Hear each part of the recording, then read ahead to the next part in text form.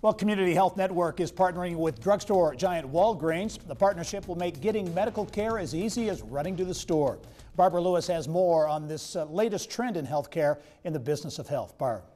Gary, thank you. Well, several Indianapolis-based Walgreens started a new partnership in health clinics that will be able to coordinate and manage care with people for chronic conditions. So joining me to talk about this partnership, our healthcare clinic chief medical officer, Alan London, and community physician network primary care senior medical director, Dr. Paul Wilson. And welcome to you both. Thank you. so Paul, let me start with you. Um, why was it important for community to get involved with Walgreens in this? Well, the network and leadership has felt that healthcare has really been pretty fragmented. We've got Obamacare coming and healthcare reform.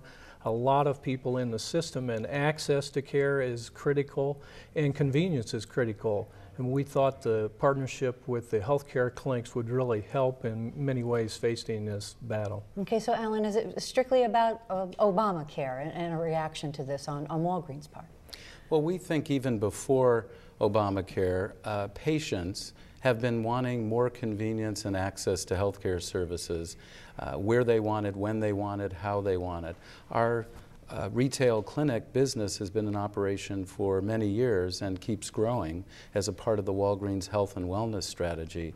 And now we're partnering with uh, tremendous integrated systems like Community Health to really do better for the patients. There's a triple aim goal of better outcomes, less cost, and better patient satisfaction, and that's what we think this partnership will achieve. Okay, and, and the need now for physicians on call would be because of chronic conditions are a little more difficult to manage than giving a flu shot and other things that you've done in the past. So, so how will it work? I mean, if I'm a, a patient that comes to uh, uh, one of the Walgreens clinics, um, how would I interact with community health?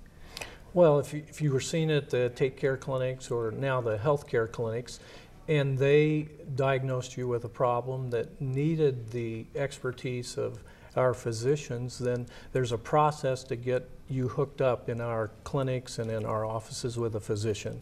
And maybe it's just some testing or laboratory. So we've helped facilitate and make the navigation through the system much easier through the clinics. So, Alan, what, what's next then for Walgreens? So you started out with with uh, the, the, Take Care clinics, and now you're really a uh, more of an official, uh, a larger clinic offering more services. Is there is there more to come? I think uh, our strategy is evolving as American healthcare needs are evolving. There are going to be more patients needing access to care and having insurance coverage soon. And we want to work very closely with health systems around the country to partner and become an extension of their practices.